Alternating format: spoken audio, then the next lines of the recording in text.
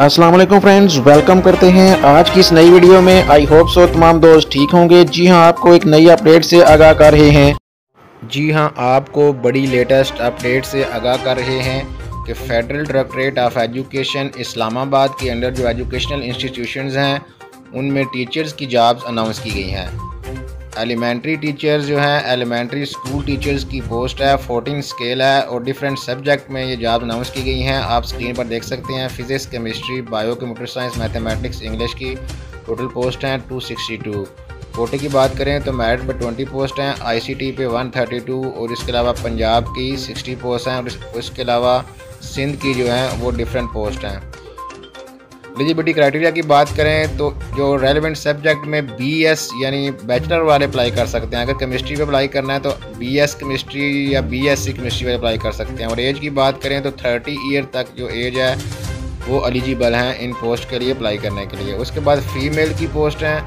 Female जो है, उनकी टोटल पोस्ट हैं सेवेंटी फाइव हैं और इनके लिए भी सेम जो है, वो क्राइटेरिया है। जी हाँ इस पोस्ट के लिए पूरे पाकिस्तान से मेल और फीमेल कैंडिडेट्स अप्लाई कर सकते हैं। और इसके लिए आपको ऑनलाइन अप्लाई करना होगा। ऑनलाइन अप्लाई करने के लिए पोस्ट जो ऐड है ऐड के ऊपर लिंक दिया गया है E T C dot H E C dot G O V dot P K इस पर आपने ऑनलाइन रजिस्ट्रेशन करनी है और ऑनलाइन अप्लाई करना है। हार्ड कापी जो है वो एक्सेप्टेबल नहीं होगी। अगर आपको अप्लाई करने में कोई प्रॉब्लम हो तो आप जो है online help dot H E C dot G O V dot P K website visit करें और इसमें आपको एक मैनुअल मिलेगी, आप डाउनलोड कर सकते हैं और उसमें आप इंस्ट्रक्शन ले सकते हैं।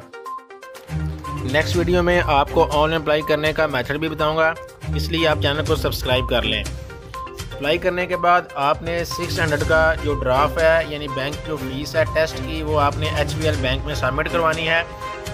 और उसकी जो ओरिजिनल स्लिप है, वो आपने ईवन ड्रेस पे आपने भेजनी है। और जो ड्राफ्ट है, इसकी बैक साइड पे आपने अपना आईडी कार्ड नंबर लिख लेना है।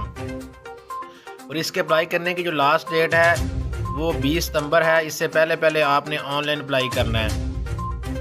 ऑनलाइन अप्लाई करने के बाद आपको टेस्ट की डेट जो है, वो बिज़ी एसएमएस या ईमेल के ज़रिए पता चल जाएगा। उसके बाद जो टेस्ट की रिज़ल्ट की बेस पर जो शॉर्ट लिस्ट कैंडिडेट्स हैं, उनको इंटरव्यू के लिए कॉल की जाएगी। इंटरव्यू के लिए कॉल का भी आपको आपके नंबर पर कॉल आएगी, या फिर आपको गुजरिया एसएमएस वेबसाइट पर भी इंटरव्यू के जो कैंडिडेट्स हैं, जिनका इंटरव्यू है, उनकी लिस्ट चेक कर सकते हैं। इंटरव्यू के वक्त आपको जो ओरिजिनल डॉक्यूमेंट्स हैं, वो अपने साथ जो है लाने होंगे, और उसकी एक टेस्टेड फ़ोटो कापीज़ भी साथ लानी होगी। ये थी आज की नई अपडेट। मज़ीद अपडेट के लिए चैनल को सब्सक्राइब कर लें, ताकि आपको ऐसी लेटेस्ट जॉब्स, अपडेट्स और मज़ीद एजुकेशन वीडियोज़ मिलती रहें।